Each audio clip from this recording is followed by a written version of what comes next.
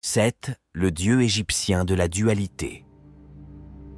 Seth est une figure complexe de la mythologie égyptienne, souvent représentée avec une tête de chacal ou parfois de créatures mixtes. Il était vénéré en tant que dieu de la dualité, associé à la fois à la tempête, à la désolation et à la protection des frontières. À la fois craint et respecté, Seth incarnait des aspects contradictoires. D'un côté, il était considéré comme un protecteur des dieux et des pharaons, gardant les frontières sûres contre les menaces extérieures.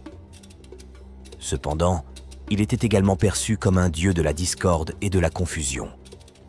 Seth est célèbre pour sa rivalité avec Horus, le dieu faucon, pour revendiquer le trône d'Égypte.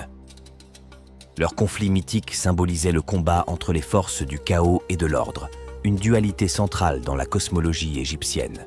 Bien que Seth ait été souvent dépeint comme un dieu tumultueux, sa présence dans la mythologie égyptienne a apporté une dimension importante à la compréhension de la dualité et de la complexité dans les croyances anciennes.